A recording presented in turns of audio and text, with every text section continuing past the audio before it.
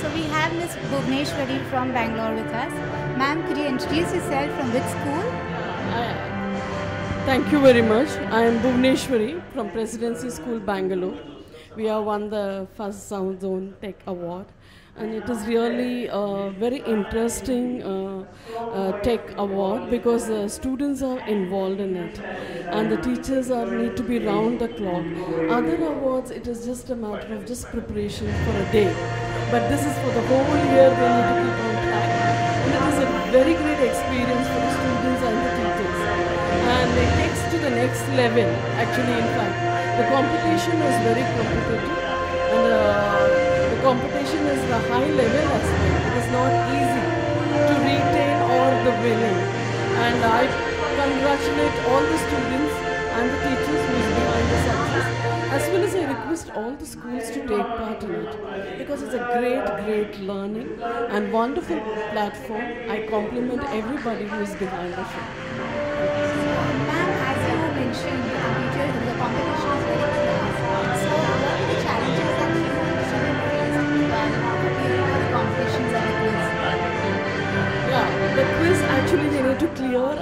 go to the next round, isn't it? They need to keep clearing on it. And that was a real challenge because the students needs to be very focused and the teachers also to be on toes. Suppose the child is not well or they are not able to do it, then they lose it because someone takes it. It is a typical, a very, very close fight, and a high competitive. Standard is really, really very good. Being a computer science person, I've done my master's in computers.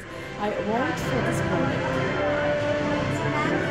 the digital world, you uh, computers and you know studying online compared to this book studying. So is online studying here to stay for long? Yes, it will. It will. Because it's a hands on experience the child will enjoy. Even the quizzing is not that easy as we all think.